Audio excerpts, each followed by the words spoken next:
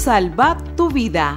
Ese es el llamado que se está realizando la comunidad universitaria a través de las conferencias magistrales, que forman parte del componente de actividades académicas en el marco de la campaña nacional para la protección de la vida de las y los motociclistas, con el objetivo de llevar la temática de seguridad vial en todos los espacios para promover una nueva cultura de protección a la vida. Considero que fue una actividad positiva, que la conferencia caló, caló en, los estudiantes y en el cuerpo eh, administrativo y cuerpo docente, porque en su participación, ¿verdad? Ellos, ellos también empezaron a hacer conciencia entre ellos mismos y hacia los demás. Y el objetivo de estas conferencias magistrales que estamos llevando a las universidades es concientizar a los estudiantes, pero sobre todo es cambiar la cultura, cambiar esa conducta de riesgo por una, una conducta de cuidado a la vida.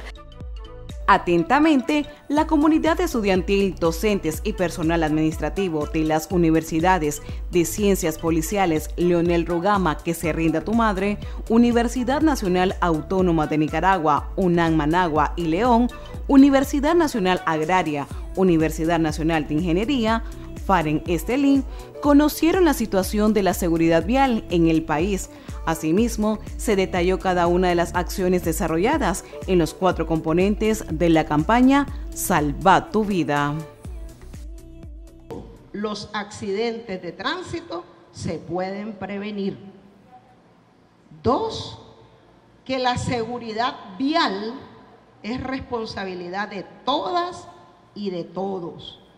Repito, conductores, pasajeros, peatones sea cual sea nuestro rol, tenemos una alta responsabilidad. ¿Para qué? Para proteger la vida.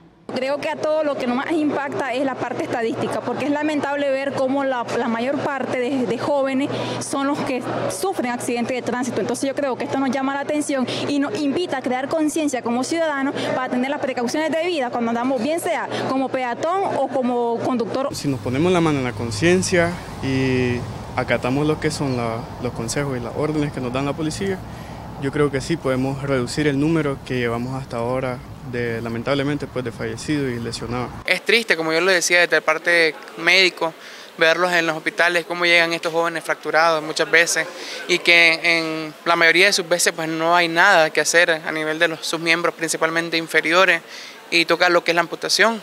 Es triste ver a ese familiar llorando, diciéndote que le salves el pie a su hijo. Es triste ver al paciente rogándote que hagas todo lo posible por salvarlo, pero muchas veces no es no es posible hacerlo porque ya hay afectaciones grandes. Pienso que es importante llevar el mensaje a cada joven en cada universidad, en los colegios y en cada una de nuestras comunidades para que ayudemos a prevenir, a disminuir y llevar a disminuir el dolor en las familias, sobre todo porque son las familias las que al final se quedan con ese dolor cuando un motociclista o, o alguien muere, ¿verdad?